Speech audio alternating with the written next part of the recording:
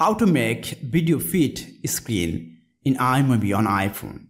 Friends, to make video fit screen in iMovie on iPhone, my friends, open iMovie app. Then have to tap on movie.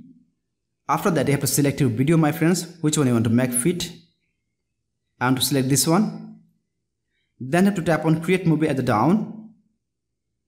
Tap on timeline, my friends and simply you have to drag by two finger inside like this.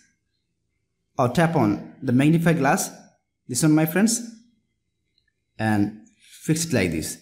But if you want to zoom in then you have to drag by two finger outer edge like this my friends. See?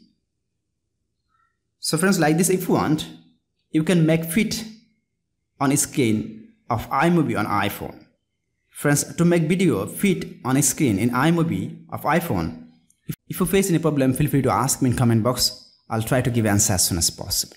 Friends, if this video helpful to you, please like, share, comment and especially subscribe my YouTube channel and press the bell icon to get next video notifications. Thank you for watching. Hope so next time I'll come with another exciting video. Till then, take care. Bye-bye.